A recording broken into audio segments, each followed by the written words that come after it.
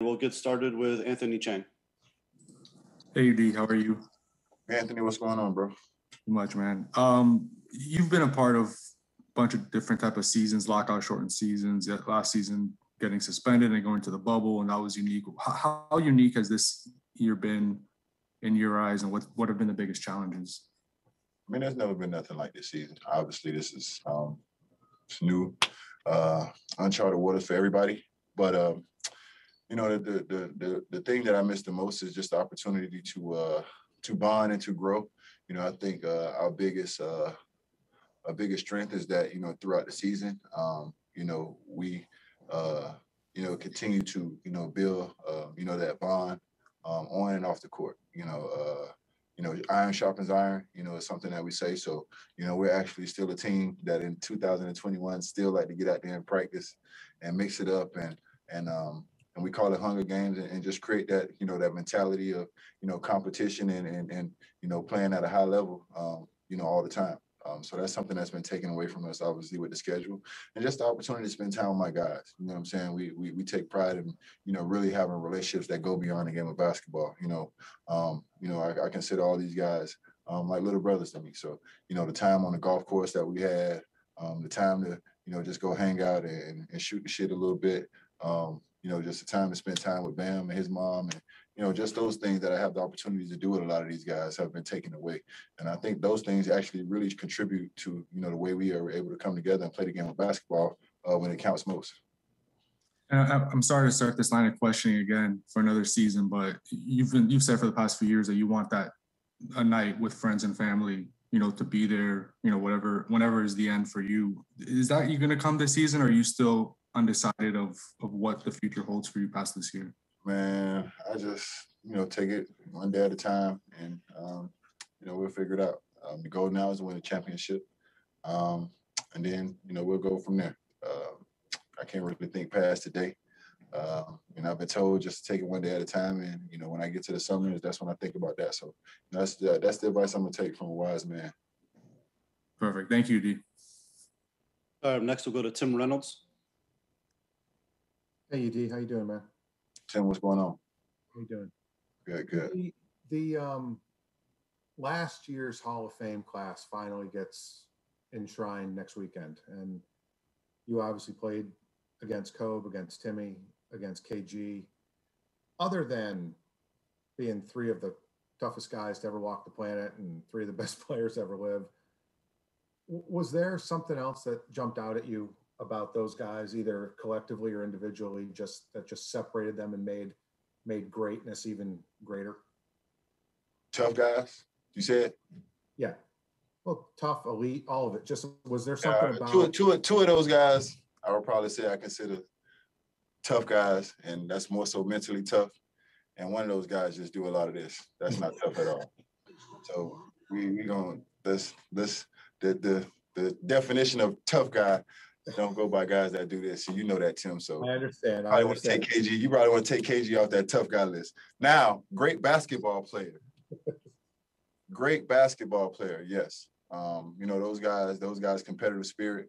Um, you know, those guys, uh, you know, the way they led their teams, all in different ways. You know, um, obviously, you know, Kobe was a guy that basically said, uh, you know, I'm a lead, I'm gonna knock down every wall. I'm gonna, I'm gonna push every brick, um, and you guys just get on board and follow. And and and if I can implement, you know, my mentality and and, and my heart into you guys, then we'll be all right. You know, that's the way Kobe, you know, did his thing. I think Tim Duncan quietly was just a quiet assassin. You know, just one of those guys that didn't say much. Um, and those guys probably pissed you off more than anybody. You're not gonna talk to you, not gonna say much, and at the end of the night, he's gonna fry you like chicken. He's gonna have 30 or 15, and they're gonna win the championship. Um, you know, obviously KG chooses a route that I really don't, you know, condone. You know what I'm saying? A lot of that talking and disrespect, but uh, you can't take away from what he's done on the basketball court and who he's been as a basketball player um, obviously, you know, coming in at such a young age, um, and from the right from the get go, you know, being able to dominate this game of basketball on both ends of the floor. You know, you talk about two way player. He was one of the first guys to be able to do it at six eleven. You know, talking about guarding one through five, and just the way he was disruptive on defense, and then took it to the offensive floor and just approached both ends of the game. You know, with the same you know mentality and aggressiveness. So, you know, all those guys are great basketball players, and um, you know, God rest the soul of Kobe, man. Um, you know, those guys definitely deserve to be in the Hall of Fame my. Don't be my loosely throwing, don't be loosely throwing around tough guy, Tim. I understood. To you, there ain't, th- th- they're all playing for second, and you know this. So you, you, you know that, so. I appreciate Um, I, I wanted to follow up with something just as important. Where, where's your golf game at these days? it sucks, bro. It sucks. I'm actually going to involve. I'm actually going to invest in a golf simulator. COVID has pushed me to the point where I think I have to invest in a golf simulator. With the way our schedule has been this year, and um, you know the travel and the games and stuff, I've actually taken a, not one step back, but probably three steps back in golf. Sorry to hear that, bro. Uh, yeah, I'm just wasting my money on my membership right now. I'm, I'm happy to let you take my money anytime you want. No, I'm telling you, I can't take nobody money right now. I, I really can't. Thank you, UD. Thanks. All right, next we go to Ira Winderman. Ira, Hey, UD, how are you? I don't condone how Jimmy spoke to you the other day. That's fine. You've actually spoke to me far, far worse, including a locker room in Atlanta once when you threatened to kill me. And I I, didn't tell you your ass couldn't play basketball though, because I ain't never seen you play. I, I would never say nothing like that until I see for sure. uh, Jimmy was right. We'll end the debate right there. Hey, couple of things. Um, you've had a lot of different roads with your teams to the playoffs, but never anything like this play-in tournament is a possibility. LeBron last week came out against it, saying you don't go through an entire season and have to go through that. Luka, Mark Cuban said the same thing. As the reality looms out there for your team, what are your thoughts on the play-in? I don't want to be in it. I don't want that to be a part of our situation going into you know the next phase of the season. You know, I'm hoping we don't have to you know end up in that situation, and I and I do think it's a little it's a little silly. You know, what I mean, I don't know who came up with it. I'm not an analytical guy. I'm sure they can bring all kinds of numbers and you know all kinds of you know stats that'll say, oh, this is the best way to do it, and you know with this, that, and the third, and all kinds of data and shit, and then I'll be like, oh, okay, but that doesn't matter to me. As a basketball player, as a guy who's been in this league a long period of time and just seen this league grow and so many different things about this league that's catapulted us to this point that we are today, I think it is taking a step back. You know what I'm saying? Especially after the bubble and just a shortened off season to put teams in a position to have to be in a play-in, especially guys like ourselves and the Lakers who basically slugged it out to the end. You know I'm saying? And to be here in this situation saying we might have to be in a play-in, uh, yeah, it's a little it's a little unfortunate, but you know, we're not the type of team that's gonna whine about it. Like whatever you want to do, put it in front of us and we'll figure it out. And then one question to follow up on what Anthony asked, because we like to harp on things like this. Um, unless you appear in a game, this actually will not count as your 18th season, uh, according to the NBA statistically. Um, will you nudge Spo before we before the Heat play in Detroit by the end of the season to to get add this to your list of seasons? I mean, I, I haven't thought about it, but I mean, I'm sure Spo and and and you know our guys, you know, keep those things, uh, you know, close to close to hand and, and understand, you know, uh, the importance of that. But uh, you know, for me, if we don't win the Detroit game and I got in, uh, it, it, it really wouldn't matter. You know, my thing is let's win out this season. Let's get this best playoff spot we can possibly get, and, and let's go in here and, and try to get it done. Um, you know, but I'm sure Spo will figure out a way to get me in there for you know, five seconds and I'll grab 10 rebounds. All right, you win again. Thank you, it. thank Thank you, UD. Um, next we go to Couper Moorhead. AUD, I was hoping to get your perspective on um, on this. The the way this team defends. I know it's not one to one because there's more switching. It's obviously a different era, but it, it, it seems somewhat similar to the team Spo coached when Spo was just starting out this first four or five years with how aggressive it is, uh, creating steals, getting out transition off the defense. I think it's just a part of. Oh, I'm sorry. Go ahead.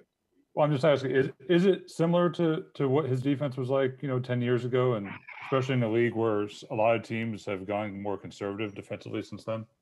Well, I'm gonna be honest with you, Chris. I don't even know what the hell the defense was like 10 years ago. This season started running together on me. And all the defenses starting to look the same. But what I will tell you is, you know, what we do a great job is is, is coaching our personnel. You know what I'm saying? And, and we have um, Swiss Army knives guys on defense. You talk about a guy like Bam, who, in my opinion, is going to be should be the defensive player of the year. Um, you talk about uh, Trevor Ariza, who's a who's a guy who can guard you know multiple positions and switch. Uh, you talk about uh, KZ, um, and we just got. Excuse me, we just got multiple guys that can guard multiple positions, and in today's game, you know that's a luxury. Um, so the more of those kind of guys we got, the more creative we can be with our schemes and flat defenses out, defenses out, and make them take bad shots. Perfect. Thank you. Thank you. And next we go to Christos Saltas with SDNA Greece. Hello, UD. Hope you are doing well. Hey, how you doing? I'm fine, thank you. I would like to ask you about uh, Bam and his pro- his progress through the years. What is the most impressive part uh, from your perspective about his progress, and what is his uh, his potential for for the for the next years? Bam? Yes. Oh man, I mean, sky's the limit for Bam. I think the thing that Bam does does the best is that he listens. You know, he actually listens and he tries to apply the things that you know we give him. You know, for me, I, at this stage of the game, you know, I hate wasting my time. So, you know, when I sit down and I spend time with Bam, whether it's on film or whether it's on the court or in the weight room, um, you know, I know it's not falling on deaf ears and I know it's going to get applied. You know, um, he's a real student of the game, um, and I think you know his passion. Um, you know, is beyond the game of basketball. You know, you talk about growing up you know, how he grew up in, in, in a trailer home and a single mother. You know, I think his strongest, uh, you know, uh, you know, asset is his heart. You know, a kid that has heart like that. Um, I tell him all the time, you got to have enough heart for everybody. And then you see out there on the basketball court, his play um, just lifts our level uh, defensively and just takes us to a whole nother level as a team. He can be the next uh, Udonis Haslem of the Heat through the years, or he can be the face of this team. Definitely, you know, definitely, no, no doubt. He's not as handsome as me, but you could you could try to put his face somewhere around here, and hopefully, you know, it'll it'll catch on. But yeah, he he could be he could try to be the face. Thank you very He much. dimples like that. You see that? You need that to be the face. All right, UD, that's it. Thank you, sir. All right, guys. Thank you. All right, everyone, that concludes today's availability. Thank you.